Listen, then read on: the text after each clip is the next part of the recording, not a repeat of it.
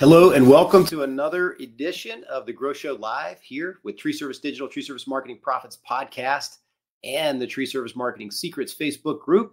Hope everybody's having a great week so far. I had another extremely important topic that I wanted to bring and do a quick video on, a quick video training.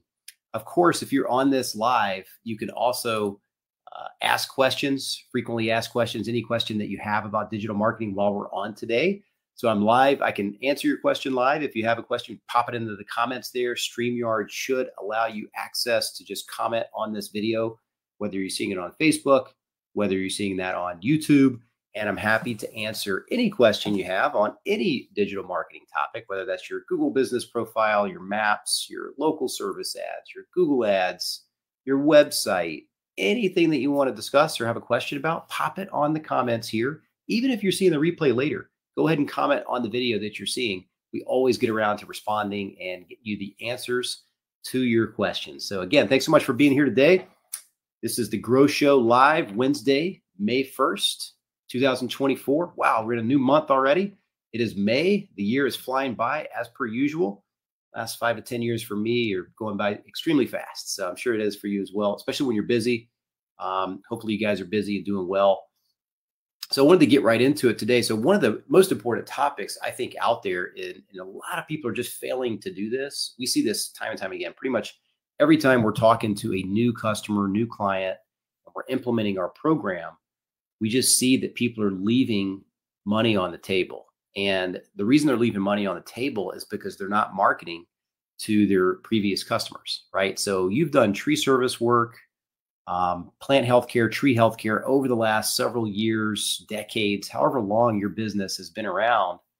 And for certain, you've got thousands probably of customers that you've touched, given estimates to, spoke with that know, like, and trust you, right? And one of the things that we see a lot of times is you're just not marketing or tree service companies in general, any blue collar company out there, um, or even any company, period. That doesn't even have to be a specific trade or anything like that um, basically are failing to market to their customers.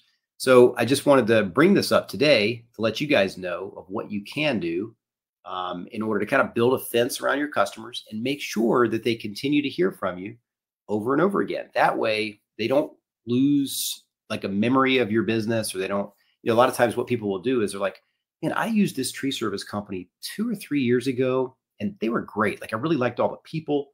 Um, they were nice. The crew cleaned up really, really well. And I'm just, I was super happy with them, but I just cannot for the life of me find um, the name of this business, right? And they can't remember who it was or they don't know who to call.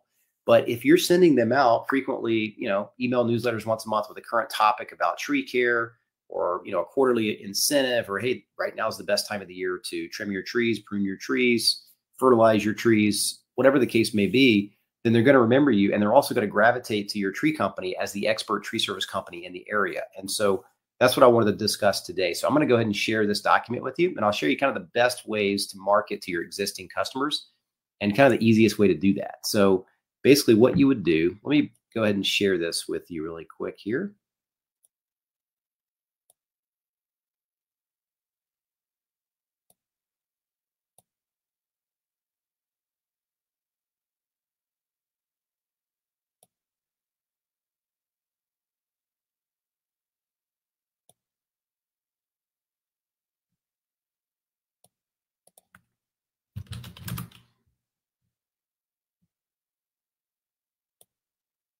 All right, well, this is loading and pulling up here.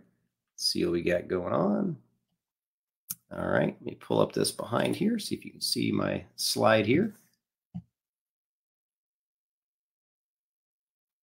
Okay, well, it looks like it's still not showing. Let's see if this is actually showing here.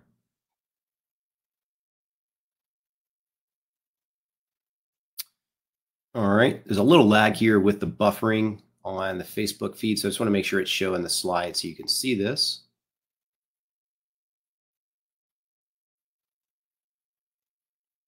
Yeah, it looks like you're not able to see that. Let me just do this. Let me share just the document.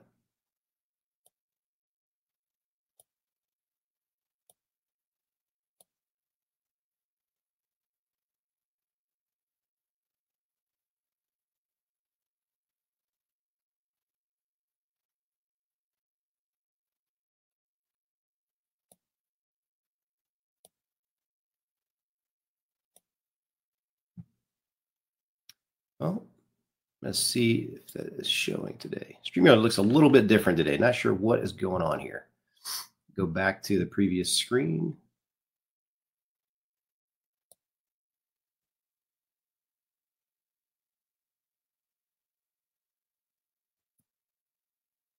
does not appear to be showing this document that I want to show here. So this is, okay, let's see.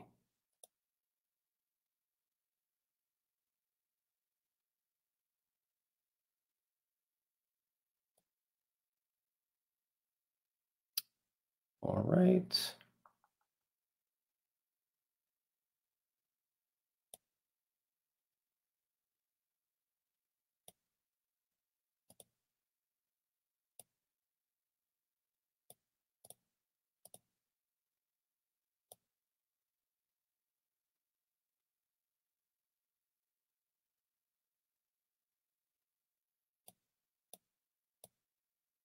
Oh, here we go. I think I know what happened there.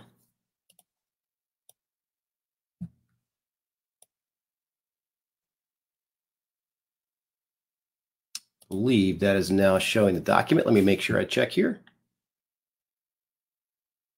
Yes. All right. So let's get right into it. So if you are in business and you've got thousands of customers, hundreds of customers over the last several years, this is something that you're definitely leaving money on the table and leaving opportunities on the table by not repeatedly marketing to your old existing customers, previous customers, previous people you've given estimates to, etc.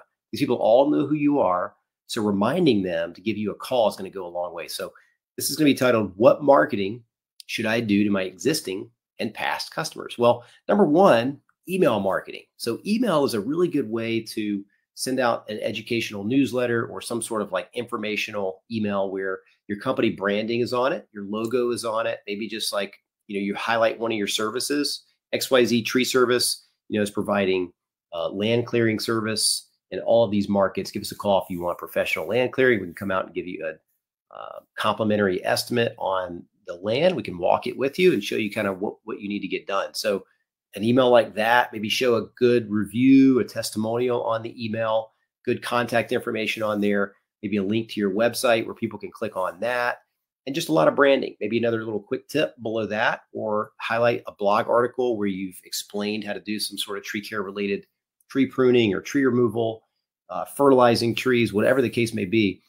and any, highlight any kind of service on there. And these emails over time, going out monthly, you know, two times a quarter, however often, you know, however often you're comfortable doing it, we, we suggest once a month. Um, they'll continue to brand your company as the go-to tree service expert. And again, these people are going to be needing tree services at some point in the future. So if you're the one that's sending out these emails, it just creates a lot more impressions as well of your business name, branding, everything else. So it's just very powerful to do that. So get in the routine of sending out a professional email newsletter to your previous customers. Mention your new services, seasonal specials, or an incentive to get them to call your company to come out for an estimate. Remember, they already know, like, and trust your business. So don't leave money on the table. Build a fence around your existing customers. It really, really helps. Number two, you can do it this day and age. You need to be approved within the A2P platform uh, for text messaging. So basically, just means your business has to be verified, a real business, have business information online that uh, the text platform A2P can sync up to and just make sure you're a legitimate business. But text messaging is very, very powerful. Uh, they get about 98% open rate uh, out there whenever they get delivered. So if you think about it, everybody's texting their friends, family, whoever, pretty much all day, every day, right? That's what they're in. They're in their texting inbox all the time. So when you send a text message out from your company, they're going to see it for at least probably three to five days a week. Because um, when you when you think about it, when you go into your text message on your phone, you open up your text app generally you have a couple of conversations with some friends at the top that stays there because it's repeated you know messaging over and over but you've got a couple other messages below that that you're going to see each time you log into your go to your text app um, and so your company's text will be in their phone that they're using all day every day and they'll be able to see your business right there on text messaging now you can always have and you have to actually to comply with the rules have an opt-out message you know press stop to stop receiving texts. You know, so some people, you know, will press that button and it's no problem. They won't get any more text messages if your system's set up the right way. But I can't tell you how many appointments, how many calls our clients get with a once a quarter, twice a quarter text message marketing campaign. This is very effective. You know, email marketing can be somewhere around 25 to 35% email deliverability. Text marketing is 98%. So everybody pretty much is always going to get your text message. And it's very effective for getting people to call you, uh, take advantage of a special that you have that month or a seasonal type tree care pruning technique or something that you want to offer your existing customers. So I just want to tell you that one is very, very effective. Number three, direct mail. By the way, guys, if you have any questions during this, just go ahead and post a comment. Happy to come back and, and answer your, your comment, any question you may have. Uh, thanks for being on today. I see several people on live.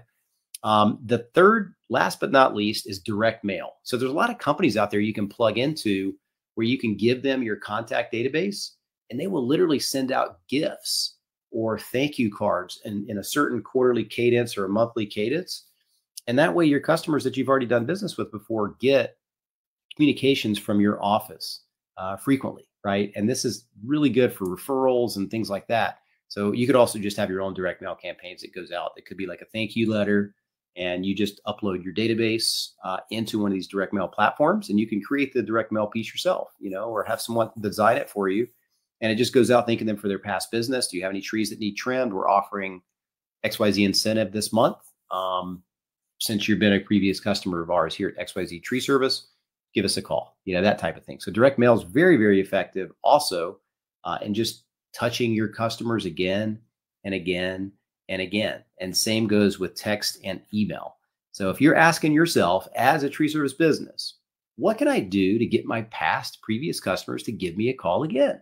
I don't want them calling my competitive uh, tree companies, you know, in the area, my competitors. I want them to give us a call. I know we're the best tree service company. They had a great experience with our tree service company. Heck, many of them, hundreds of them, dozens of them gave us a five star review. So if that's the case, you want to make sure that you're continually marketing to your customer base. And I don't want you to look at this as being intrusive or bothersome. You just need to remind people that you're in business. If you think about it, if you're not telling everybody about your business and advertising your business, it, there's going to be a lot of peaks and valleys in your business. You really need to be advertising, marketing, and shouting from the rooftops your business and your services. And other people will do the same thing if you guys do provide excellent work. Um, you clean up really nice, you know, as far as the job site, the property, you take really good care of people's property. You got to be telling people you're in business. And what better way to do it than texting, emailing, and direct mailing? So I wanted to do this really quick tidbit today for you. Hopefully, you got some value out of that and open it up for any comments or questions. If you have any comments or questions, just go ahead and post them there in the comment box. And whether you're on YouTube or whether you're on the uh, Facebook Tree Service Digital page, just post a comment if you have any questions. Otherwise, I'll wrap this up here in just a few minutes. But just want to let you know we got several good podcast episodes coming up, interviews with experts already kind of lined up. So you want to make sure you tune in. Um, subscribe to our YouTube channel here at Tree Service Digital. Got lots of content coming out for you guys really, really soon. Lots of shorts and different things like that we're adding. Um, if you're not a member of the Tree Service Marketing Secrets Facebook group, it's a free group on everything tree service marketing, best practices, coaching, uh, CRM systems to keep you know your customer database intact, all of that stuff, keep you guys organized, all those different things. We just have a lot of good tidbits, experts in there as well. Um, so let us know if you have any questions. Podcast is called Tree Service Marketing Profits Podcast. It's on every major podcast player. If you go to the Tree Service Digital page, you'll see a lot of links to those podcasts there in the About section. And um, appreciate your time today. If you've been joining live, thanks for being here. And until next week's Grow Show Live, I'll wrap this video up and I'll see you on the next one. Thanks so much.